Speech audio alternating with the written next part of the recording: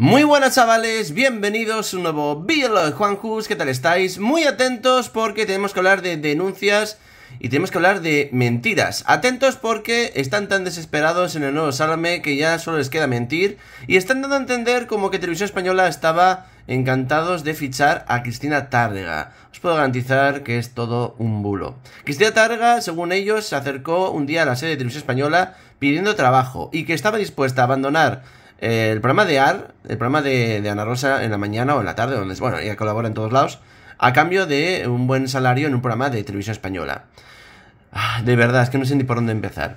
Esto es totalmente falso, primero porque en Televisión Española, como sabéis, están premiando a los que son pro Sánchez. Cristina Tarrega es del otro partido, por tanto no la van a fichar. Están despidiendo gente de esa ideología, no van a contratar. Pero luego dicen que iban a ficharla para eh, Masterchef.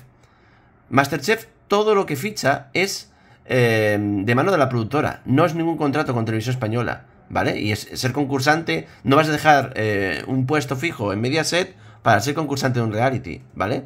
Incluso dicen cantidades de dinero para intentar enlodar un poco también a Televisión Española. Que parece mentira Lidia Lozano, que trabaja para el ente público, colabore en esas bolas, ¿no? Pero es que ella, Lidia, eh, ha ido más allá y ha dado a entender lo promiscua que es eh, Cristina Tárrega en reuniones nocturnas.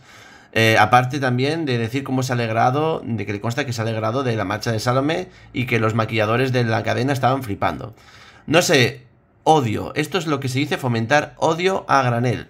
¿Vosotros qué pensáis de esta imagen que están dando en este nuevo Salome? Que son casi peores que antes, porque al menos antes podían contar alguna verdad y ahora es que solo dicen mentiras. Comentad, opinad, suscribiros.